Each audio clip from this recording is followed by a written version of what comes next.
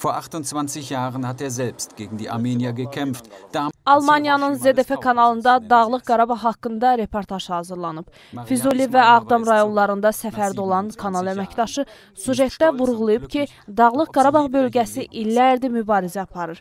Azərbaycan bu yaxınlarda 1990-cı illərin əvvəllərində Ermənistanın işğal etdiyi ərazilərini geri almağı bacardı.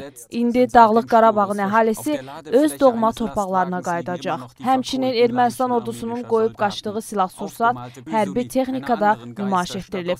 Sujetdə həmçinin Ağdam rayonunun görüntüləri yayımlanıb. Yerli əhalinin öz evlərini viran görməsinin acınacaqlı bir durum olduğu bildirilib. Həmçinin sujetdə Ağdamla yanaşı ermənilər tərəfindən dağıdılıb viran qoyulmuş Füzuli şəhərindən də bəhs olunub.